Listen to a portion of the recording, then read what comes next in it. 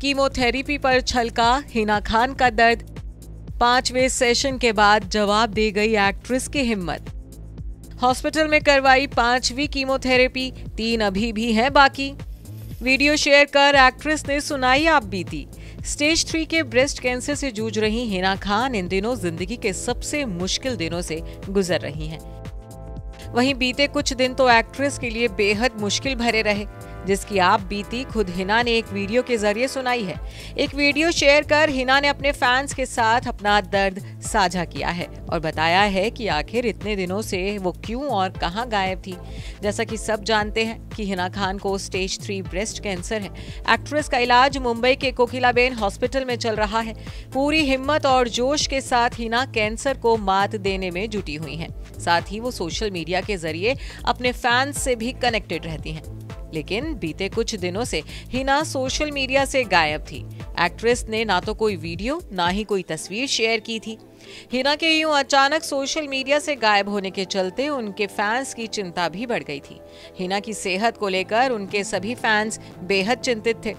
और अब लगभग नौ दिन के बाद हिना फैंस की नज़रों के सामने आई हैं। एक वीडियो शेयर कर हिना ने अपनी लाइफ अपडेट दी है।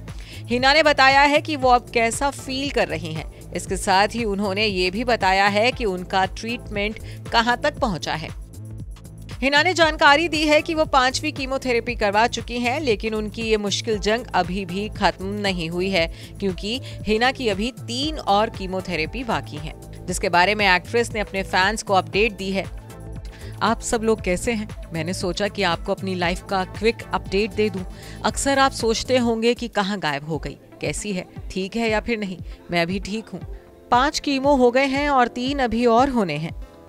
इसके बाद अपने इलाज के बारे में बात करते हुए हिना ने बताया कि उनके लिए बीते कुछ दिन बेहद मुश्किल थे।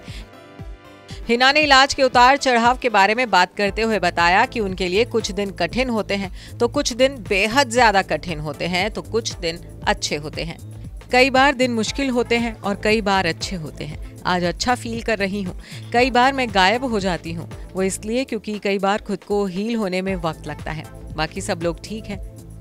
बस आप लोग दुआ करते रहिए। ये एक फ़ेज़ है। मुझे पता है ये वक्त भी गुजर जाएगा। मैं जल्द ही एकदम ठीक हो जाऊँगी। मैं लगातार फाइट कर रही हूँ। अपनी प्रेयर में हमेशा रखिएगा। आप सभी को ढेर सारा प्यार। दर्दनाक कीमोथेरेपी सेशन के बावजूद भी ना तो हिना का हौसला टूटा है और ना ही हिम्मत। हिना ने अपने फैंस को उम्मीद जताई है कि वो बहुत जल्द ठीक हो जाएँगी। उन्हें ठीक होना ही पड़ेगा। हिना ने अपने फैंस से उन्हें अपनी दुआओं में शामिल रखने की अपील की है। बता दें कि कीमोथेरेपी के बाद हिना अपने बाल खो चुकी हैं। बाल झड़ने से पहले ही हिना ने खुद अपना सिर शेव कर लिया था और अपने बालों की विग बनवा ली थी। हिना अब विग पहनकर ही फ़ैन से रूबरू होती हैं। एक्ट्रेस अपनी पोस्ट के ज़रिए फैंस को मोटिवेट भी करती हैं। जिस हिम्मत के साथ हिना कैंसर की बीमारी से जंग लड़ रही है, उसे देख तमाम फैंस उनकी दाद देते नहीं थकते हैं। Bureau report E twenty